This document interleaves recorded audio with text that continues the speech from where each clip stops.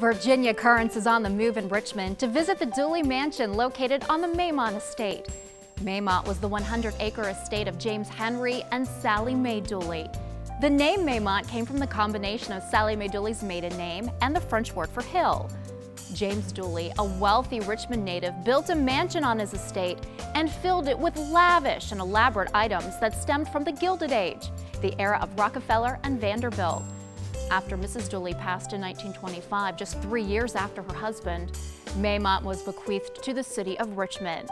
Now the Maymont estate is a jewel in the crown of Richmond for visitors to enjoy, with magnificent gardens, a farm, wildlife, lush landscapes, and of course, the majestic Dooley Mansion.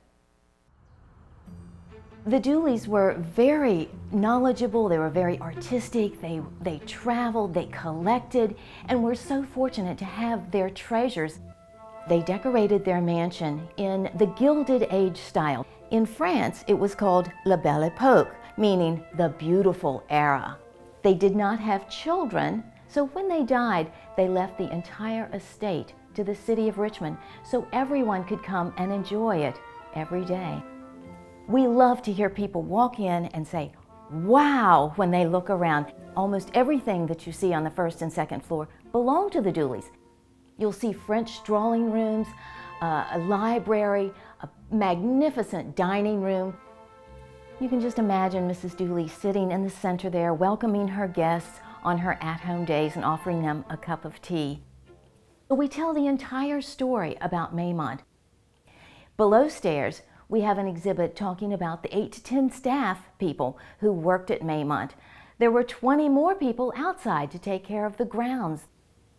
Our inspiration for the spring exhibit was, was really this tapestry, which was made by the Gobelin factory. It was reportedly one of Mr. Dooley's most prized possessions. The Dooleys were so generous in giving the, the entire estate to the city of Richmond. And in the 1950s, we had other generous Richmonders who had the vision of adding animal habitats to Maymont. So today we feature animals that are native to Virginia. Maymont is, is so unique. Uh, to the Richmond community, it means memories. Generations of people have come here, and now they're bringing their children here. You can study the past, um, learn about how people lived, or you can take a walk and just enjoy the beauty outside. 125 years after their death, people are still enjoying Maymont.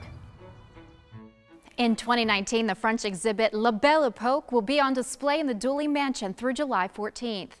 The mansion's open year-round. For hours and tour times, visit maymont.org.